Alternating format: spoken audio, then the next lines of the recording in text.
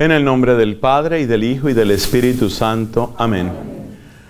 Dios te salve María, llena eres de gracia, el Señor es contigo. Bendita tú eres entre todas las mujeres, bendito es el fruto de tu vientre Jesús. Santa María, Madre de Dios, ruega por nosotros pecadores, ahora y en la hora de nuestra muerte. Amén. En el nombre del Padre y del Hijo y del Espíritu Santo. Amén. Por favor, siéntense hermanos. Importante que nos demos cuenta que toda relación humana necesita de tres fases que son el lenguaje, el espacio y el mensaje. En esta charla vamos a comentar cómo evidentemente las fallas, las fracturas, las dificultades siempre son fallas en el lenguaje o en el espacio o en el mensaje. Entonces, esta predicación tiene dos partes. Primero, la vamos a llamar un examen de fracturas, como hacen los ingenieros. Cuando ha habido, Dios nos libre, una explosión, un terremoto, entonces tienen que revisar las estructuras para revisar si hay fracturas, revisión de fracturas. Esa es la primera parte de esta predicación. Y la segunda parte la llamamos un análisis de caso. Vamos a ir al segundo libro de Samuel, al capítulo 11, donde aparece un gravísimo caso de lo que llamamos la espiral del pecado. Cómo el pecado empieza siendo algo pequeñito, pero se va volviendo como una bola de nieve, se va volviendo como una espiral que puede destruir completamente la vida de una persona o que puede destruir completamente la sociedad. Entonces, las dos partes son análisis de fracturas primero y luego un análisis de caso. Análisis de fracturas es mirar qué es lo que sucede en términos de el lenguaje, el espacio y el mensaje. Por ejemplo, uno se equivoca en el lenguaje y sobre todo se equivoca ¿por qué? Por ignorancia. Ignorancia. El lenguaje humano es algo tan extraordinariamente rico que por eso mismo es extraordinariamente complejo. Por ejemplo, existen lenguajes directos. Un lenguaje directo es la palabra sobre todo. Esa palabra que dice, por ejemplo, te amo. Ese es un lenguaje directo. Pero existe también lenguajes indirectos.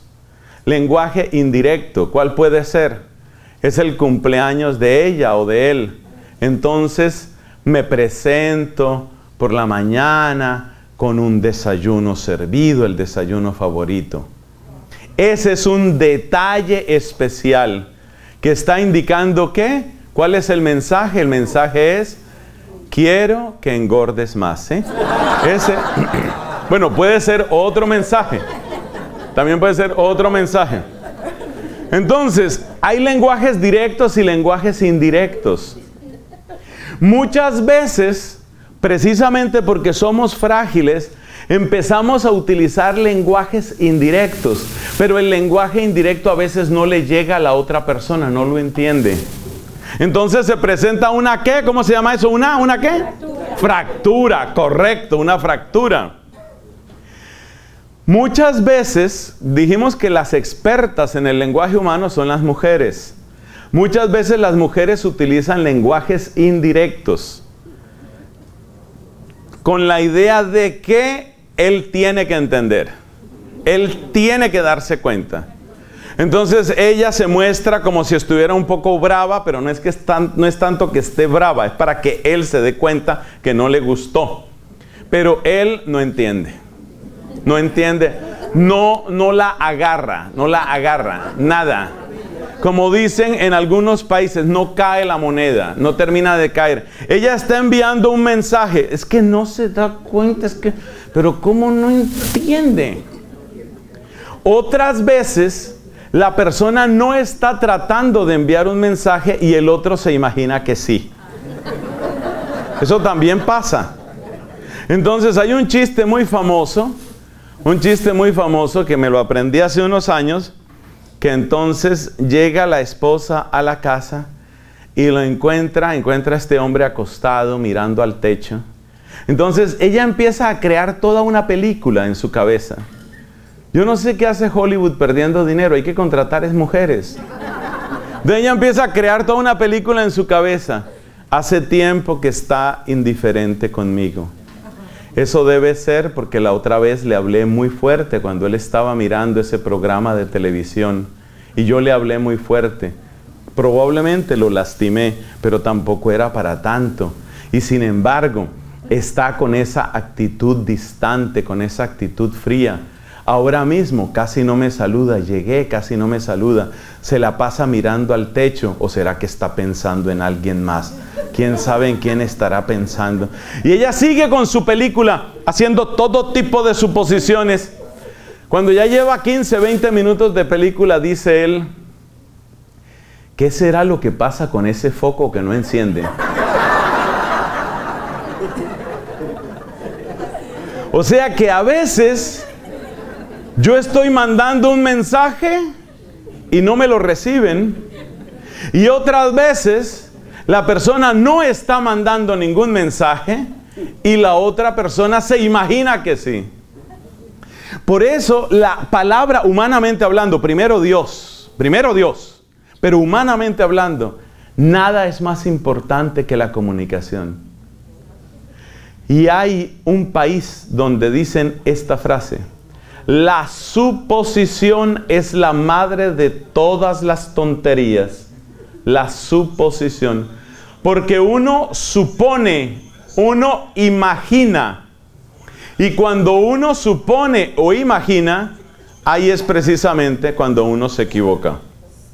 Ahí es cuando se equivoca.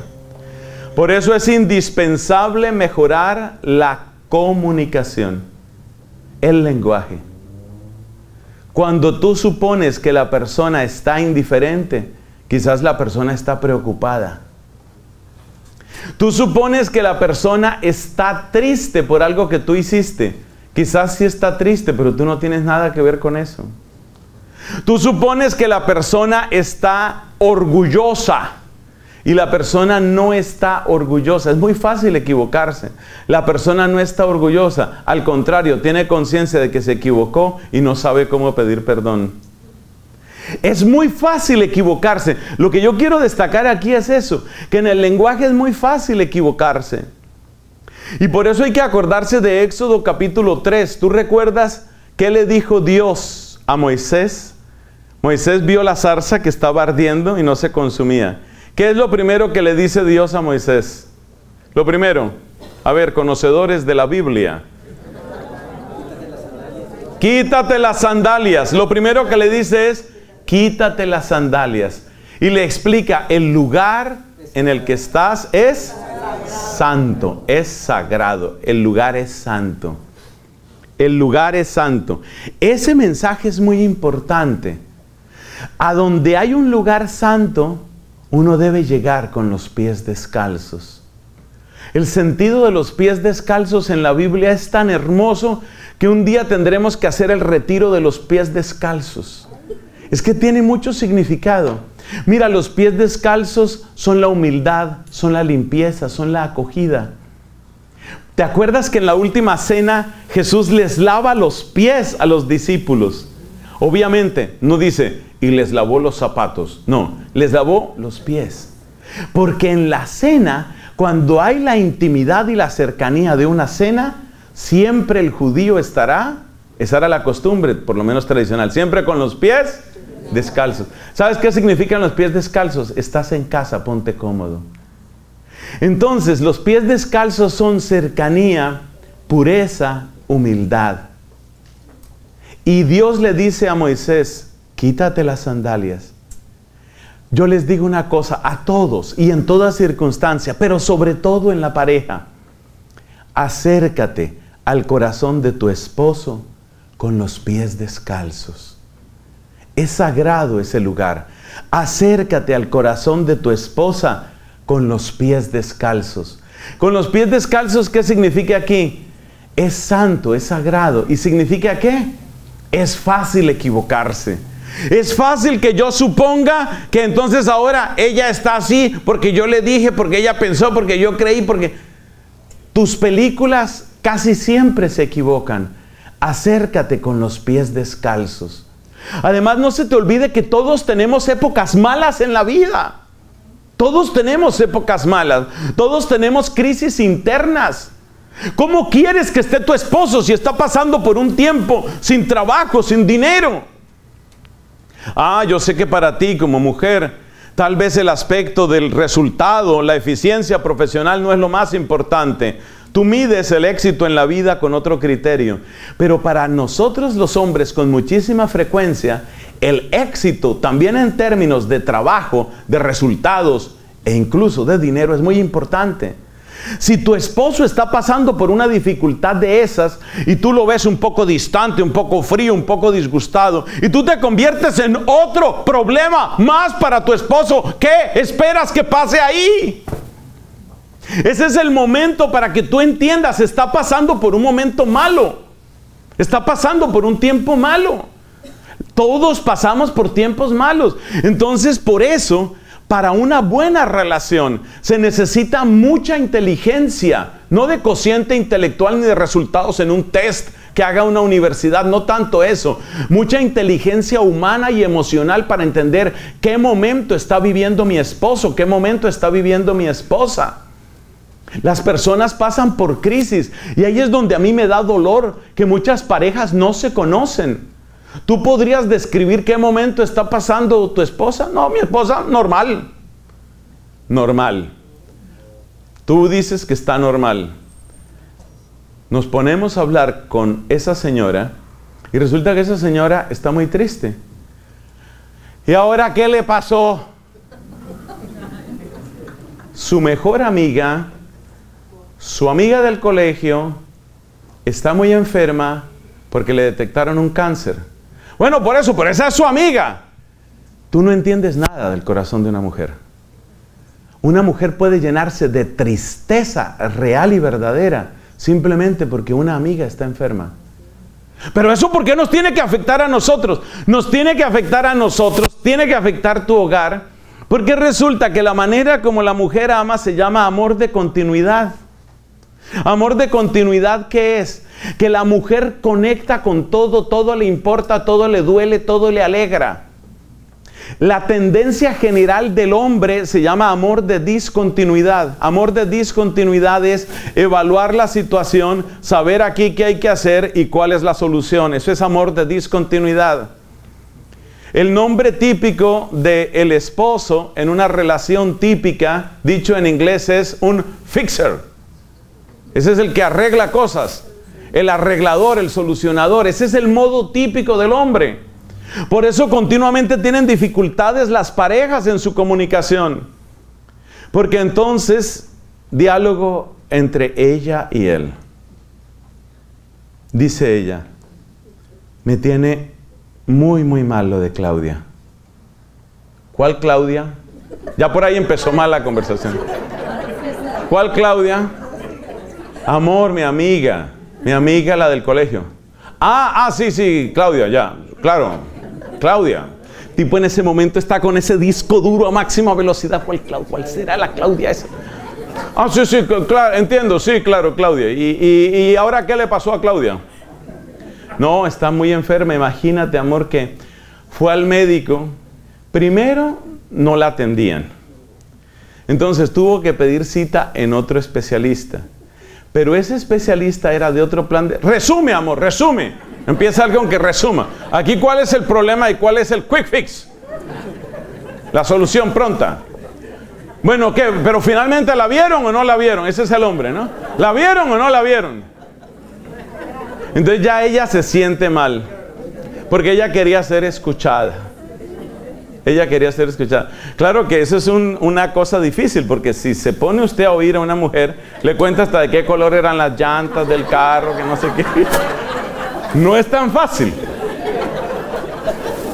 Entonces ya contó la historia que Claudia. Bueno, ¿y, qué se va a hacer? La pregunta típica del varón. ¿Y qué se va a hacer con lo del cáncer de la amiga esa tuya? O sea, si observan el cariño, ¿no? De ese hombre. ¿Y qué se Y así con manoteo en el aire. ¿Y qué se hace con el cáncer ese de la amiga esa tuya? ¿Qué, qué, qué se hace o qué? Dicen, dicen, perdóname, es que me pongo un poco sentimental. Entonces ya saca el pañuelo, entonces él esperando a que esta pues se limpie los mocos del llanto, no sé qué. Miren la cara de entusiasmo del hombre oyendo a la esposa la historia de la amiga.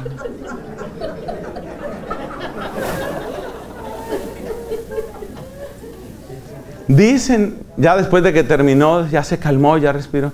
Dicen que le van a hacer un tratamiento, es una, una cuestión experimental.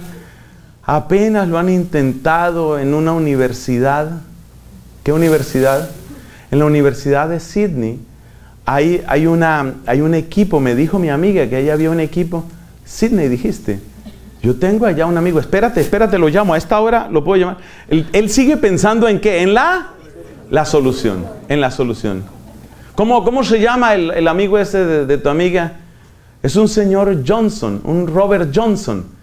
Johnson, hombre, si ese fue claro, si ese fue amigo. Sí, sí, sí, yo me acuerdo, ese fue amigo de un amigo mío. Espérate, cállate, yo llamo a mi amigo. Son dos enfoques muy diferentes. En el fondo, él está empezando a decirle, sí me interesa tu historia, y él está tratando de amar como solemos amar los varones, que es encontrar una solución. Esto es lo que arregla el problema. Lo que ella estaba buscando en principio no era una solución. Lo que ella estaba buscando era ser escuchada, sentirse acompañada, que le dieran un abrazo, que le dijeran estoy contigo, cualquier cosa que necesites. Entonces, hermanos, todo esto es para decir que el lenguaje es delicado y que uno tarda muchos años, se los digo por experiencia, porque a mí como sacerdote también me ha pasado. O sea, yo creo que yo hacía como sacerdote lo que muchos esposos hacen. Ustedes saben que con mucha frecuencia mamás, eh, personas solteras, religiosas, o sea, mujeres, buscan una palabra en el sacerdote.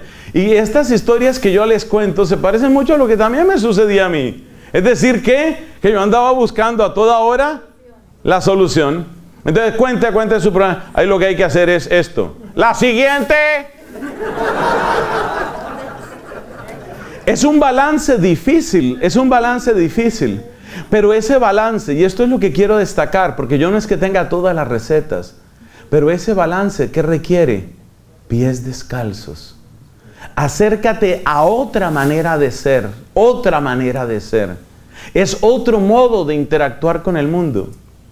Si me preguntan a mí cuál es el modo más eficiente, mi respuesta no tiene la menor duda, la mujer. La mujer es más eficiente.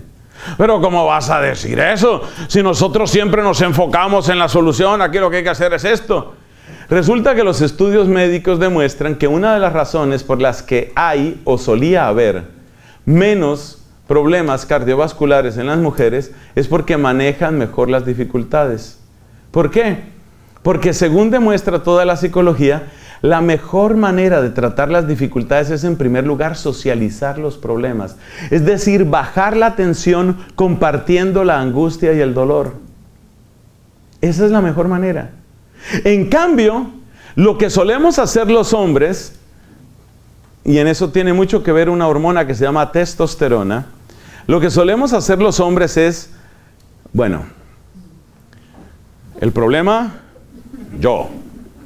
Problema, contra mí, yo contra el problema, yo pienso en el problema, el problema piensa en mí. Vamos a ver quién le rompe la cara a quién. A veces eso funciona. A veces tú encuentras la solución y eso te hace sentir como un gorila. Yo lo logré. Yo, yo, yo, yo, yo. A veces encuentras la solución, a veces no. Entonces, ¿qué pasa? Que cuando el varón encuentra la solución, se siente feliz, siente que se ha reafirmado, yo sabía que yo podía. Tuve que luchar contra el mundo, pero yo lo logré y yo pude y, y fui yo. Ese es el varón. Esa estrategia no es psicológicamente sana. ¿Por qué? Porque hay una gran cantidad de cosas en la vida que son más grandes que tú. Y además hay otra gran cantidad de gorilas o sea, otra gran cantidad de varones que están también peleando en contra tuyo. Y están peleando muchas veces con armas sucias. Entonces, si uno, un varón, no empieza a aprender algunas de las estrategias que son típicamente femeninas, rápidamente va entrando en unas situaciones de estrés insalvable. Porque lo que empieza a sentir es, yo no puedo esto, pero voy a darle más. Voy a darle más. Y voy a lograrlo. Y en ese sentido, películas muy bien hechas han causado yo creo que un daño, entre ellas la serie llamada Rocky. ¿Conocen ustedes las películas de Rocky? Ese es el estilo típico del varón, ¿no? Entonces tengo una gran dificultad, no me voy a dejar. Y después de Rocky, ¿cuál es la otra serie que te gusta? Rambo. Y entre Rocky y Rambo, y Rambo y Rocky. Y resulta que la mayor parte de los Rockies y los Rambos acaban con un ataque cardíaco antes de los 60 años de edad. ¿Por qué? Porque tú empiezas a acumular, o sea, tú no le das un respiro a tu propio organismo, tú no le das un descanso a tu sistema nervioso. Entonces tú estás todo el tiempo pensando, esto lo tengo que resolver, esto lo tengo que resolver, yo tengo que ganar esto. Además el hombre se monta inmediatamente en su papel de yo soy el proveedor de la familia, yo soy el que tiene que proveer. Sería un fracaso, es decir, soy un fracaso como hombre. He fracasado, soy un varón fracasado. ¿Entiendes? ¿Entiendes? Entonces pones un espejo delante de ti. Mi nombre es fracaso, soy un... No eres eso, tú no eres eso. Entonces hay que tener mucho cuidado porque la estrategia típicamente masculina acaba en agresividad. Esto está demostrado en todas las cifras. Absolutamente en todos los países del mundo las cifras de crimen por agresión son mayores en hombres que en mujeres, absolutamente en todos. En absolutamente todos los países del mundo, me parece que hay una sola excepción cuyo nombre no recuerdo, la media de vida, el tiempo esperado de vida es mayor para las mujeres que para los hombres. Quiere decir que nosotros, nuestra estrategia tiene que mejorar. Entonces, ese es el tema, esas son las fracturas del lenguaje. ¿Cuáles son nuestras fracturas del lenguaje? Que llegamos pisando fuerte, no más eso. Por favor, pies descalzos, para ti hombre y para ti mujer. Lo mismo las mujeres también han de entender, yo aquí le hago mucha propaganda al estilo femenino, porque la Biblia misma le hace esa propaganda. Es que es la Biblia la que hace la propaganda. Ustedes miren en la Biblia, para mí el ejemplo que siempre doy es el del libro de los jueces, la historia de Sansón. Sansón vencía a 10.000 filisteos. ¿Cuántas filisteas se necesitaron para vencer a Sansón? Una. O sea, que, que alguien vuelva a decirme que la Biblia es un libro machista y entonces me voy a enfrentar yo contra él, él contra mí, y vamos a ver. Hermanos, pies descalzos. Trata de entender el momento que está viviendo él, que está viviendo ella. Es increíble lo que las parejas llegan a desconocerse. Y cuando empezamos a llenarnos de miedo, la cosa empeora. ¿Por qué? Porque empezamos a utilizar lenguajes indirectos. Y no hay cosa más frustrante que pasar años tratando de que ella entienda Mira, si ella entendiera, o sea, ¿qué pasa por esa cabeza, además de acerrín, qué tiene en esa cabeza que no logra entender? ¿Por qué no entiende? No entiende. Ella sí es importante para mí, pero ¿por qué no entiende que yo no puedo estar pensando en ella 24 horas al día? Tengo otras cosas que pensar. ¿Otras cosas como quién, mi amor?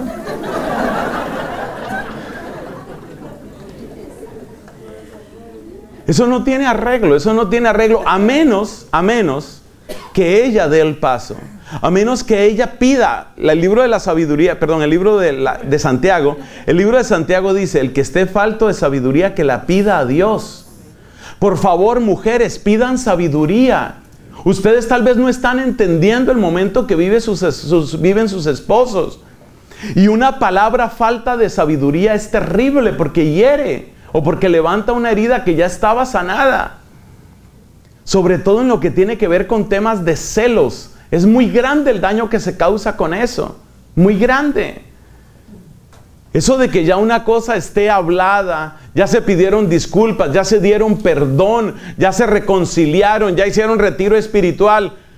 Pero algunas, algunas mujeres parece que conservaran todos los errores del esposo aquí en la manga. Tienen una manga más grande que la de los dominicos. Y aquí tienen todos los errores de él. De manera que llega el momento del problema, permiso, permiso, permiso. Pero, pero, el 3 de febrero de 1999, estando presente mi mamá y tu mamá, tú dijiste, y ya eso estaba hablado, ya eso estaba perdonado. Mira, este es un error muy grande. Eso, eso no es sabio. Eso no es sabio. No hagas eso. No hagas eso. Acércate con respeto. Esto es de parte y parte, hombre y mujer. Eso se llama cuidar el lenguaje. Y las fracturas del lenguaje, ¿qué son? Eso, que no escuchamos, que llegamos pisando fuerte, que se nos olvida que las personas pasan por malos momentos, que a veces no terminamos de valorar lo que es importante para la otra persona. Pasemos al segundo. El segundo tema son los espacios. ¿Cuáles son las fracturas en los espacios? La peor fractura en los espacios es no tener espacios. Por eso todos los consejeros matrimoniales, todos y todos los sacerdotes siempre hacen, siempre hacemos, porque yo he tenido esa labor muchas veces, siempre hacemos tres preguntas y siempre son las mismas tres preguntas. Tres preguntas. La primera pregunta tiene que ver con que si tienen capacidad para escucharse o no. La segunda pregunta siempre tiene que ver con si se conocen o no se conocen en este tipo de cosas. Es sorprendente cómo hay parejas que están pasando por un mal momento y uno le pregunta, por ejemplo, a ella, ¿usted sabe lo que está viviendo él? No, ni sé, como él tiene ahí su vida. Oye, pero, pero tú has sabido acercarte, acercarte para averiguar. Quizás lo que tiene esa persona es una preocupación de salud, una preocupación profesional, una preocupación económica. Ay, pero la plata, ¿qué tanto importa la plata? Te repito, te repito, para la mayor parte de los varones la plata no es solamente la plata. El trabajo no es solamente el trabajo. El trabajo es la señal de si estoy o no estoy respondiendo como esposo, como papá y como hombre. No es solamente la plata. Es posible que tu esposo de aquí a unos años madure tanto espiritualmente que se dé cuenta que la plata no es todo. Desde luego que hay que crecer. Pero mientras tanto, en este momento él está sufriendo mucho por eso. Tiene una verdadera crisis de autoestima. ¿Tú, ¿Tú eres apoyo en este momento para él o no lo eres? ¿Ves? Entonces las tres preguntas, ¿cuáles son? ¿Se escuchan? La segunda es, ¿se conocen? Esa pregunta es clave. O sea, ¿conoces el momento que está viviendo ella? ¿O no lo conoces? A mí me, duele tanto cuando a veces uno oye a los hombres que dicen, no sé, eso, problemas de ellas. Problemas de ellas, eso quién las entiende. No repitamos más esa frase, no repitamos más esa frase. Yo reconozco que todo ser humano y particularmente la mujer puede tener toda esa riqueza y complejidad, pero es que esa frase es muy irresponsable. Esa frase que quien las entiende es como decir yo ya ni siquiera voy a intentarlo. Acércate a ese ser humano y trata de entender exactamente qué es, qué, es lo que está viviendo. Entonces la segunda es la palabra que tiene que ver con el entendimiento. Y por supuesto, la tercera pregunta que siempre tiene que ver con el lenguaje es, bueno, ¿y ustedes tienen tiempo para ustedes? Tiempo para ustedes. Como dicen, hay tiempo, el libro del Eclesiastés capítulo 3, ¿no? Hay tiempo para y tiempo para, ¿no? Dice el libro del Eclesiastés, tiempo para vivir, tiempo para morir, tiempo para reír, tiempo para llorar. ¿Ustedes tienen tiempo para ustedes? Para ustedes. O sea, hay un momento en el que tú simplemente te quites los guantes, porque es que hay personas que duermen con los guantes puestos, esos guantes de boxeo. Resulta que, según se ha demostrado científicamente, acariciar con un guante de boxeo es difícil. Vente acaricio esa mejilla. Quítate los guantes, quítatelos. Baja, baja, baja, un poquito de relax, baja. Salgan un momento, busquen qué? Espacio. Espacio. ¿Tienen espacio para ustedes? Y no es solamente el hecho de salir a tomarse un café, no es solamente el hecho de salir a tener una cena juntos, no es solamente salir de vez en cuando para una, lo que llaman una escapada. Ay, padre, pero ¿cómo vamos a hacer esa escapada si nosotros tenemos siete hijos? ¿Cómo vamos a hacer esa escapada? ¿Usted ama mucho a sus hijos? Claro que sí. ¿Quiere lo mejor para sus hijos? Claro que sí. Pues sus hijos la necesitan a usted en buena salud, física, emocional, espiritual. Entonces, por amor a sus hijos, usted tiene que encontrar una solución adecuada para que haya algunos espacios, algunos momentos en que usted esté con su pareja, solamente con su pareja. Eso es muy importante. Pero es que los hijos, es que yo sin ellos, un momento, un momento. Es que a veces, a veces, utilizamos la cortina de los hijos y el interés de los hijos, los hijos son el mensaje, acuérdate, ¿no? Utilizamos la cortina de los hijos y los problemas de los hijos y el estudio de los hijos y la enfermedad del hijo y, la niña menor que sigue con el problema del oído y el penúltimo que está con el problema del asma y la otra que sigue con el problema de la inflamación de no sé qué y el otro que está... Sí, todo eso es real, pero además de todos ellos existimos tú y yo. Y tú no dejaste de existir como hombre por engendrar unos hijos. Y ella no dejó de existir como mujer por parir unos hijos. O sea que ella sigue necesitando tiempo para ella. Y él sigue necesitando tiempo para él. Y no utilicen la familia, las deudas, el trabajo, la religión para no hablar ustedes. Porque todas esas son cortinas que uno pone. Y menciono la religión porque ha pasado. Menciono la religión porque ha pasado. Yo conocí un caso que acabó mal tristemente, espero que después haya podido seguir otro curso. Yo conocí un caso que acabó mal por eso, porque todas las conversaciones iban a la religión. O sea, la historia es que esta mujer había hecho un buen retiro espiritual. Veo que son bastante populares aquí los de Maús y todo esto, pero podría ser retiro de cristiandad o bueno, en fin, un retiro y ella feliz con su retiro. Y entonces el tema de ella se volvió en que tenemos que acercarnos a la religión y tenemos que acercarnos a Dios. Todo eso es verdad y Dios tiene que ser lo más importante. Pero la manera de que Dios se vuelva lo más importante no es que se convierta en el pretexto para no hablar de otras cosas. Porque ese hombre necesita convertirse a Dios, estamos totalmente de acuerdo. Pero ¿sabes qué más necesita ese hombre? Necesita desayuno necesita cariño, necesita atención, necesita un te amo, necesita un te admiro, necesita un yo confío en ti. Entonces, cuidado con utilizar la religión, porque a veces solo hablamos de la religión y la religión y tu conversión, y bien lo dice, perfectamente lo dice, con absoluta claridad lo dice, 2 Corintios 3, 2.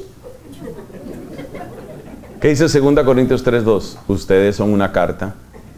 Ya les olvidó lo de la carta. Voy a llorar, pero bueno. Entonces, ese esposo tuyo, esa esposa tuya también necesita eso. La esposa tuya puede estar muy cerca a la Santísima Virgen María, reza muy bien el rosario, es lectora, es ministra de la comunión. Es decir, está en un fervor muy grande. Esa mujer con todo eso también necesita que un día le digas, qué linda que estás hoy también lo necesita. Es mamá de siete hijos o es mamá de un hijo, no importa el número de hijos, ella sigue siendo mujer, sigue necesitando eso. Entonces las fracturas en el espacio, ¿cuáles son? Que no reservamos los espacios, que no sacamos. Y los espacios no salen, hay que sacarlos. El tiempo no sale, hay que sacarlo. Si tú te dejas llevar por las redes sociales, si tú te dejas llevar por las ocupaciones del trabajo, si tú te dejas llevar por el ritmo de vida social que nos impone el mundo en el que estamos, no vas a encontrar nunca el tiempo. El tiempo hay que sacarlo. No solo hay que sacarlo, hay que defenderlo. Defiende ese tiempo. Lo mismo vale también con los hijos, como vamos a ver en la parte del mensaje. Pero ese tiempo hay que sacarlo. Ese tiempo hay que sacarlo. Por supuesto, lo primero, cuando ustedes empiecen a tener esos momentos de compartir solos los dos y todo eso, yo sé lo que va a pasar porque, bueno, algo tenía que haber aprendido en todos estos años de sacerdote. ¿Qué es lo primero que pasa cuando se empiezan a sacar esos tiempos? que los primeros temas que salen son temas externos. Mira, si viste lo que pasó con el hijo, si viste lo que pasó con la niña, si viste lo que pasó. Hay que tener un poco de paciencia, pero ambos con sabiduría vayan buscando el momento en el que se haga realidad lo que nos dijo el Padre Tolosa en la oración hace unos minutos. Entre tantas cosas que nos dijo, porque ahora habla muy rápido, pero es el entusiasmo, Padre, es la oración. Mire, entre tantas cosas que nos dijo, dijo una cosa que es hermosísima, hermosísima. Descubre que esa persona es el regalo que Dios te dio. Bellísimo mensaje. Entonces, ¿qué, ¿cuándo empiezan ustedes a tener tiempo de calidad como pareja? En el momento en el que, claro, cuando ustedes empiecen a recuperar su comunicación y a sacar sus espacios, primero van a salir todos los temas del mundo, todos los temas. Seguro van a terminar hablando del Papa Francisco. ¿Y tú qué opinas del Papa Francisco? ¿Y tú qué opinas? Si hubiera ganado Hillary, ¿cómo hubiera sido esto? Y luego hablan de fútbol. Y luego hablan de la profundidad oceanográfica en el siglo XVII. Y luego hablan de todos los temas. Pero hay un momento, hay un momento en el que poco a poco y serenamente van llegando al verdadero y hermoso tema. Existes tú en mi vida y existo yo en tu vida. Y como bien nos dijo nuestro sacerdote, el momento en el que tú la puedes mirar a los ojos y decirle, eres el regalo que Dios me dio. Mira, eso, eso significa lo que dijo el apóstol San Pablo en la segunda carta a los Corintios en otro versículo. Dadnos amplio espacio en vuestro corazón. Mira, el momento en el que tú le dices eso, el momento en el que seguimos la recomendación del sacerdote que nos dijo, reconoce el regalo que es esa persona para ti. En ese momento, mira, en ese momento lo que tú le estás diciendo a ese hombre o a esa mujer es, aquí en mi alma, en mi vida, en mi tiempo, en mi ser, hay un lugar para ti. Y ese lugar no lo tiene nadie más. Y yo quiero que tú lo tengas. Y eso es vida. Eso inyecta vida. Eso inyecta fuerza. Eso inyecta alegría. Y la mujer que se siente así, amada como mujer, esa mujer tiene todas las razones del mundo para dar la pelea con un hijo, con tres hijos, con siete hijos o con los hijos que Dios quiera. Tiene toda la fuerza del mundo porque sabe que se siente así. Y ese hombre, en el momento en el que ella lo mira, después de que ya hablaron de todo eso, ya han pasado tres, cuatro, cinco comidas, o sea, ya esto va subiendo en el presupuesto. Después de que ya han tenido todas esas comidas y después de que ya han compartido, un día ella lo mira y le dice, sabes, yo sabía desde el principio que tú eras la persona que tenía que estar en mi vida. Mira, ya con esa frase, mira, ya ese señor se vuelve un campeón, ya ese señor sale listo. Cuénteme cuál es la maratón, a ver, ¿qué, qué, quiere que le corra? ¿Qué quiere? Ya ese hombre ya con eso tiene. O sea, entiende por favor, mujer, mujer, entiende por favor que tú tienes la super, super vitamina que puede convertir a ese ser humano calvo y barrigón. ¿Lo puede? Lo puede convertir en un, en un ser extraordinario.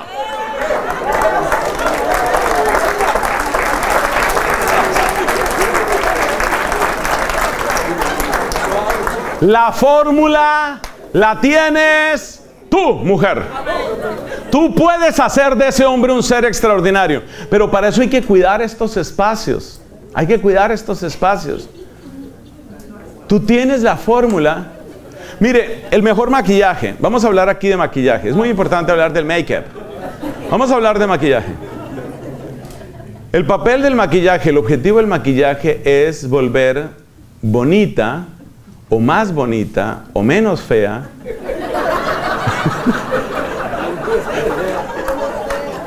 a una,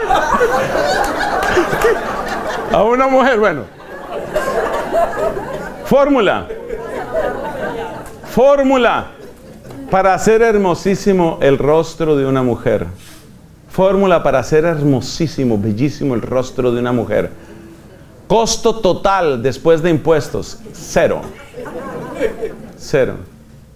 Solamente ámala y hazle saber y sentir que tienes tiempo para ella y que ella tiene un lugar único en tu vida.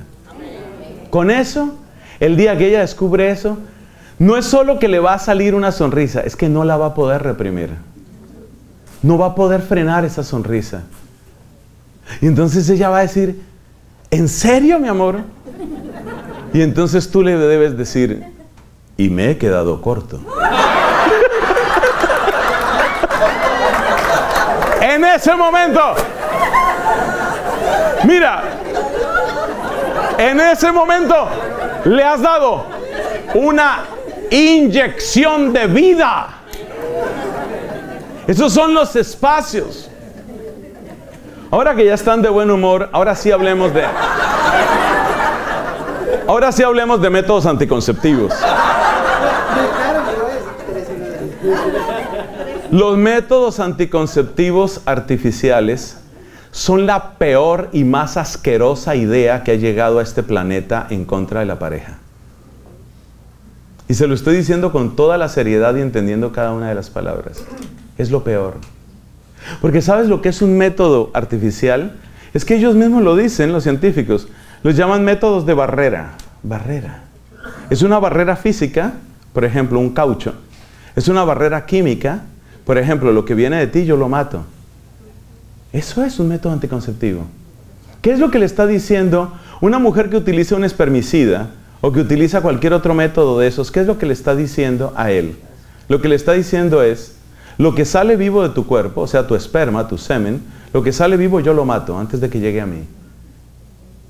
¿Cómo puede la gente imaginarse en su cabeza que va a prosperar una relación que está marcada por una barrera? Eso, como dicen en inglés, that's beyond me. Eso está más allá de mi cabeza. Yo, yo no logro entender eso. Con un agravante, con un agravante. Y es que el que pone una barrera inmediatamente está exaltando el placer por el placer. ¿Tú sabes cuál es el mensaje de los métodos anticonceptivos? El mensaje de los métodos anticonceptivos es este. Se puede disfrutar con la absoluta certeza de que no nacerá nada, no pasará nada, no saldrá nada.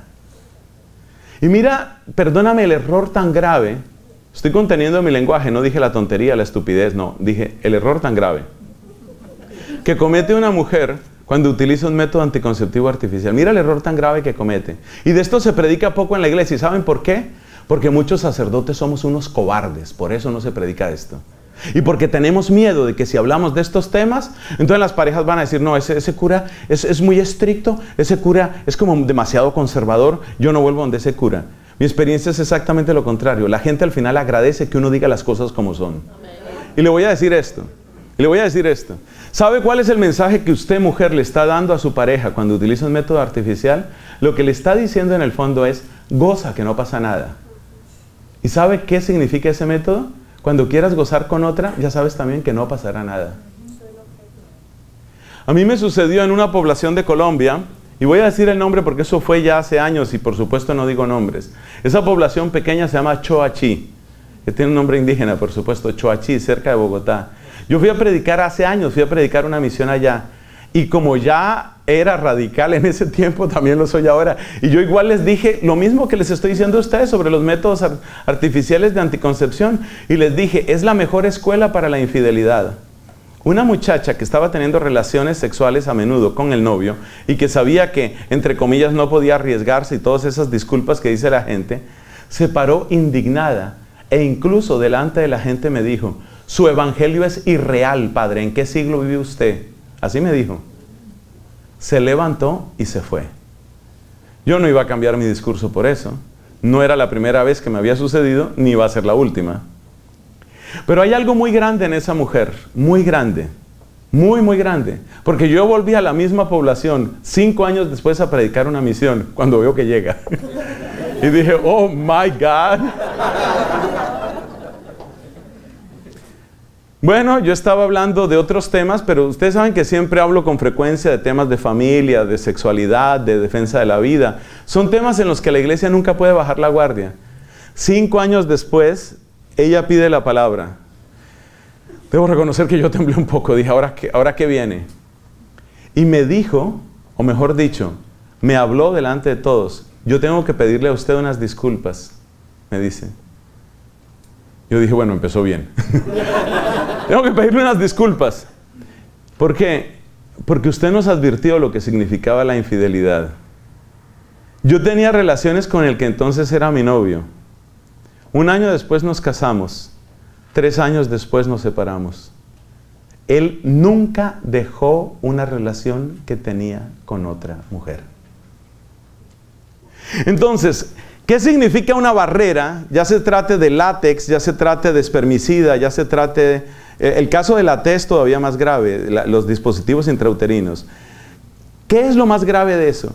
Lo más grave de eso es que en el fondo, a ver, estamos entre adultos y lamento que hay cosas que hay que decirlas así. En el fondo el mensaje de la barrera es, tú allá con tu orgasmo, yo aquí con el mío. Eso es lo que significa el método de barrera. Y entonces, ¿qué pasa? Que si se puede tener orgasmo con esta, se puede tener orgasmo con cualquier otra. Ya está. Ahí no hay verdadera unión. El, problema de la T es mucho más grave, porque el problema de la T es aborto. Eso se llama microaborto. Si ustedes miran el funcionamiento de los dispositivos intrauterinos, no impiden la unión del gameto masculino y el gameto femenino. ¿Eso qué quiere decir? Que sí se produce fecundación eventualmente. No se sabe cuántas veces, no se sabe de qué manera o en qué casos, quiero decir. Y entonces, si se produce fecundación, ¿qué es lo que hace el dispositivo intrauterino? Impedir la implantación. Si somos coherentes, ¿eso cómo se llama? Destruir a un ser humano. ¿De qué tamaño era ese ser humano? aproximadamente 0.9 milímetros, que es el tamaño que suele tener un óvulo femenino. Es obviamente el tamaño que tiene ese ser humano. Es decir, que ese ser humano que fue destruido, si yo lo pongo aquí sobre mi uña del pulgar, yo puedo verlo. Con el ojo así, toca un poquito de enfoque, pero con el ojo así se puede ver ese ser humano que fue asesinado. Entonces, yo hago una pregunta. ¿Eso qué repercusión tiene? ¿Qué repercusión tiene? Es desastroso, absolutamente desastroso. Además, no hay método más eficiente para destruir la comunicación en una pareja que los métodos anticonceptivos. ¿Por qué? Por una razón muy sencilla. Porque mira, cuando no se usan métodos anticonceptivos, de todas maneras hay que ser responsables, ni más faltaba. ¿Y qué significa ser responsables? Ser responsables significa utilizar todos los caminos de la comunicación y la ternura. Y sobre todo, ¿qué significa eso para el varón? Significa entrar a hacer lo que estamos predicando en este retiro, conocerla a ella, los ritmos del cuerpo de ella, los ritmos del deseo de ella, los ritmos de la fecundidad de ella. Es decir, los métodos naturales bien entendidos y bien practicados son básicamente una escuela de conocimiento profundo, sobre todo del misterio bendito de la mujer a la que Dios le ha encomendado el ministerio de la vida. Entonces, seguir los métodos artificiales es cerrar esa puerta. ¿Por qué? Porque lo único que interesa es yo quiero mi dosis de sexo, yo quiero mi dosis de orgasmo. Y punto. Eso es lo único que interesa ahí. No se necesita comunicación. Es un destructor de la comunicación. Y el grave peligro es que en muchísimos sitios los únicos consejos que están recibiendo las parejas son consejos de acrobacia sexual. A ver, ahora intenten esta postura. Ahora utilicen esto. Ahora compren esto otro. Tal vez les hace falta un poco de picante. Vean pornografía. Eh, utilicen afrodisíacos. Ahora untes esta crema ahora quítesela, ahora compre esta que está más cara, ahora utilice este aparato. Todo eso es separación. Analízalo. O sea, estamos aquí ante Dios. Analízalo. Todo eso es separación. Todo eso es separación. Porque todo eso es cada vez más y más tú con tu placer, yo con mi placer. ¿Cómo es la sexualidad como Dios la quiso? Nos dice la carta a los hebreos, que el lecho matrimonial sea limpio. Limpio. Y ese limpio es muy bonito. Está en la carta a los hebreos y tú lo vas a buscar. Por allá capítulo 11, capítulo 12. Ahora dudo, tal vez es el 13. ¿Es el 12 o es el 13? Lo vas a buscar.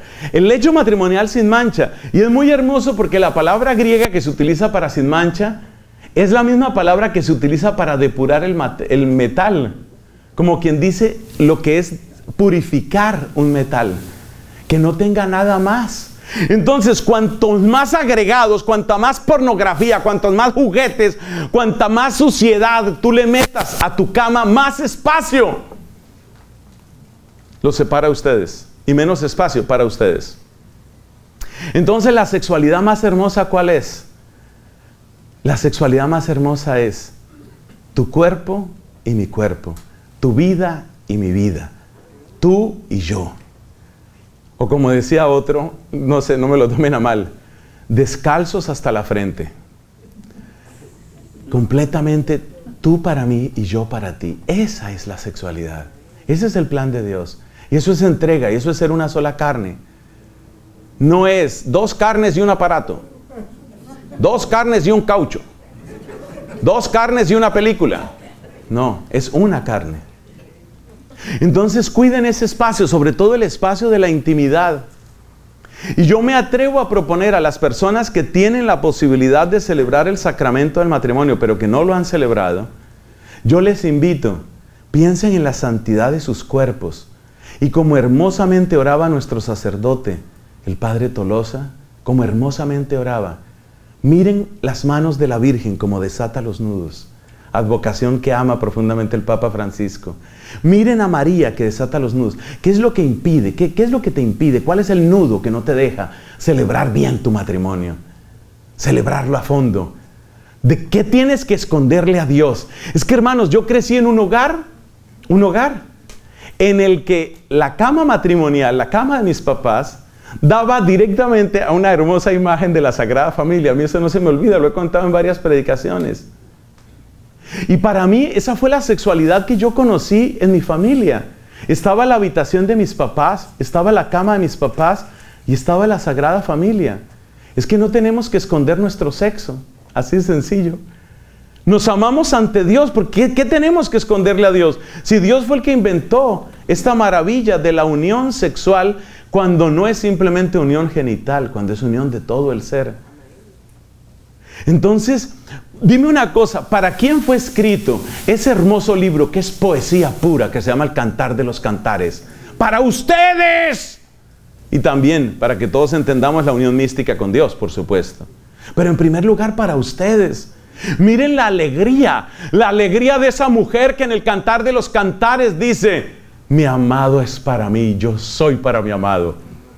O esa mujer que se llena de ternura y mira a su esposo que está dormido, posiblemente después de la intimidad. Mira a su esposo que está dormido. Lo mira. Y entonces dice, callaos, callaos, callad. Dejad que mi amor duerma hasta que quiera. Y se queda mirándolo. Y se queda vistiéndolo con su mirada. O sea, tú imagínate si habrá poesía bella en la Biblia. O sea, yo, me, yo miro eso y créeme que lo que siento es ternura. ¿Tú te imaginas lo que es eso? Este hombre que ha dado amor, que ha recibido amor, que se queda dormido y que ella lo viste con ojos de ternura. Es la mirada de ella. Él no necesita cobija, sábana. Ella lo viste con el ojo, con los ojos de su ternura. Esa es la manera, eso es lo que Dios piensa del amor. Ese es el Dios nuestro. Entonces, ¿por qué nos alejamos de eso? Porque quitamos los espacios. El mensaje. El mensaje. ¿Qué error cometemos en el mensaje? Que se nos olvida que el mensaje hay que escribirlo a cuatro manos. A cuatro manos. Y lamentablemente se dan tensiones, a veces se dan tensiones entre él y ella. ¿Por qué? Porque todavía quedan algunos hogares donde hay más o menos la idea, sobre todo del papá con los hijos varones. Como quien dice, este lo formo yo. Es una idea tan absurda que tiemblo para decirla, pero es algo así como que los hijos son del papá y las hijas son de la mamá. Más o menos esa idea subsiste soterradamente. No puede ser así. ¿Cuál es la manera de asegurar que el mensaje no se fracture? Cada uno tiene que aprender a respaldar la autoridad del otro. No hay nada que destruya tanto la autoridad en los hijos como enseñarles a que manipulen. Es decir, le pido este permiso a mi papá, pero como no me lo dio, voy donde mi mamá. Y mi mamá desautoriza a mi papá. Eso es terrible. Por favor, el mensaje lo están escribiendo juntos. Cuídense muchísimo de las discusiones delante de ellos. Eso hace un daño terrible, terrible. Cuídense muchísimo. Desde luego que puede haber desacuerdo, siempre habrá desacuerdo, siempre pasa, o sea, somos seres humanos. No estamos diciendo que todo va a funcionar perfectamente y que nunca va a haber un error. Pero, pero, tengan por favor en cuenta, tengan por favor en cuenta la necesidad de apartarse para conversar lo que es de ustedes. Cuiden que el mensaje sea uno. El mensaje sea uno. Es que hay veces esto sucede, a veces esto sucede. Unifiquen criterios.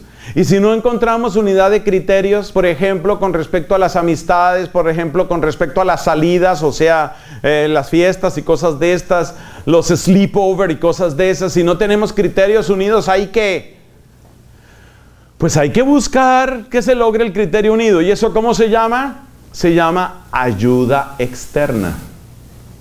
Entonces, tómense su tiempo para pedir ayuda juntos.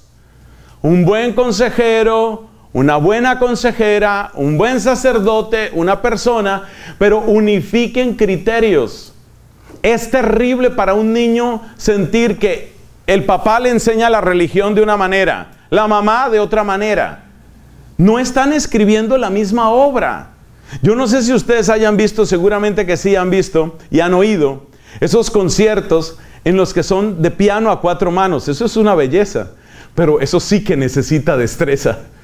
Porque aunque ambos sepan tocar bien, si no toca cada uno exactamente en el milisegundo que le toca, se arruinó todo. Entonces créeme, tú eres un hombre bueno seguramente. Tu esposa es una mujer buena, pero es que no basta que cada uno sea bueno. Se necesita que tejan juntos. Se necesita que escriban juntos. Se necesita que toquen la misma melodía al mismo tiempo. Por eso es tan importante en esto Muchas veces buscar caminos de diálogo, buscar oportunidades, porque si no van a volver locos a esos niños, a esas niñas, los van a volver locos, porque no hay un mismo mensaje. Y tristemente cuando las parejas no se entienden bien los conflictos de poder con quienes se dan, con los hijos, cada uno tratando de imponer. Mire, en los años que tengo de sacerdocio, no me he encontrado un solo caso de que haya problemas de poder con los hijos que no sean problemas que empezaron por falta de entendimiento entre ellos. Algo así como que mi esposa y yo no nos entendemos y entonces trasladamos nuestra pelea a los hijos, cada uno jalando para un lado distinto. Mire, el daño es brutal y el mensaje se echa a perder. No más eso. Bueno, no alcanzamos a hacer nuestro estudio de caso, queda como tarea para vosotros, porque esto sigue, pero me parece que este análisis de fracturas había que hacerlo. Cuidado con esto. Y por última vez lo digo, descalzos, con respeto, con humildad. Mira, hay demasiadas cualidades en esa mujer que tiene cerca, demasiadas. Hay demasiadas cualidades en ese hombre. Es cuestión de saber acercarse, es cuestión de orar primero, es cuestión de pedir sabiduría y Dios la da. Gloria al Padre, al Hijo y al Espíritu Santo